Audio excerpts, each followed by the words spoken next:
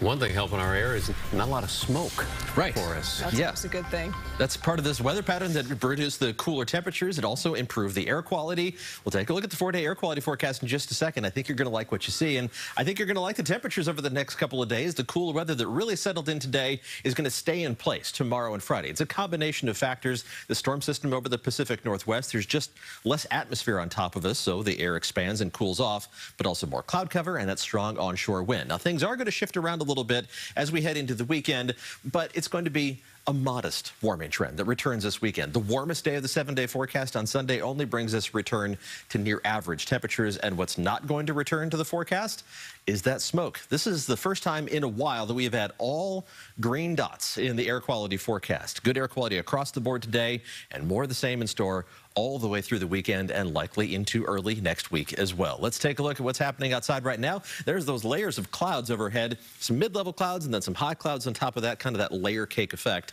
Temperatures, though, are only in the 60s for the most part. It's a degree below 60 right now. Downtown San Francisco, just below 70 degrees right now. In Concord and Santa Rosa, those are the warm spots. These temperatures are well below average, and there is more of the same in store for us tomorrow. And the skies are going to look very similar. We're going to see the cloud cover trying to stick around tonight.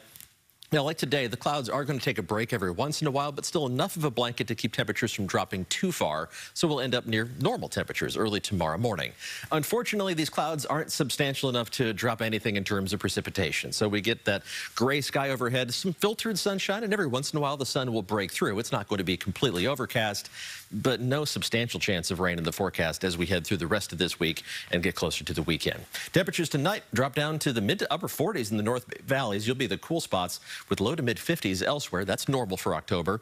High temperatures tomorrow are going to be a good 10 degrees below average for everybody. 60s around the bay, the lower half of the 60s, with temperatures only topping out around 70 degrees for San Jose and Concord. Let's zoom in for a closer look. Along the coast, only upper 50s, mid to upper 60s down the peninsula and around the south end of the bay with high temperatures around 70 degrees in the Santa Clara Valley. Just below in San Jose, just above for Los Gatos, Morgan Hill, Gilroy, likely reaching up to 71 or 72.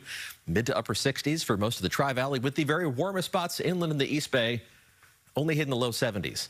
It was 48 hours ago. We were talking about temperatures in the 90s there. Now, tomorrow, we're barely going to hit the 70s.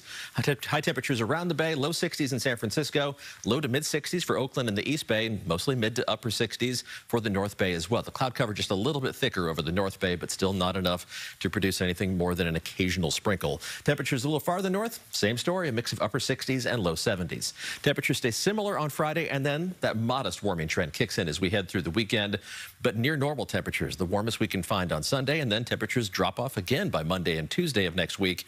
We are going to see more sunshine by Saturday and Sunday, which is good news for all those Fleet Week weekend festivities. Temperatures farther inland will be a little bit warmer, up into the low 70s for the North Bay on Saturday and upper 70s Sunday, while the East Bay hits 80 degrees for one day on Sunday, and then it's back down into the 70s Monday, Tuesday, and Wednesday.